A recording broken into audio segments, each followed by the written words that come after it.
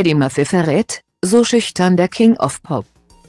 Wer hätte das gedacht?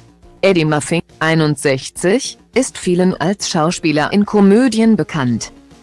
Seine Karriere hatte bereits in den frühen 80er Jahren mit seinen Comedy-Sketches bei Saturday Night Live Art aufgenommen.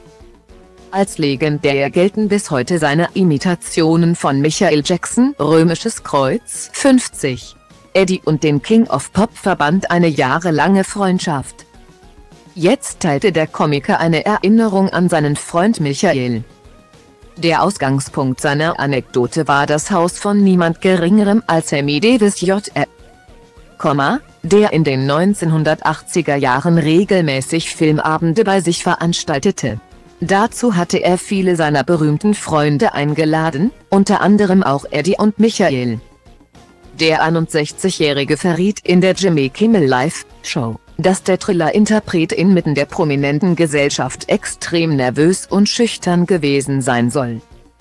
Daraufhin habe er sich einfach hinter einer Tür versteckt. Da sind so viele Menschen. Eddie, komm, soll er zu dem Dr.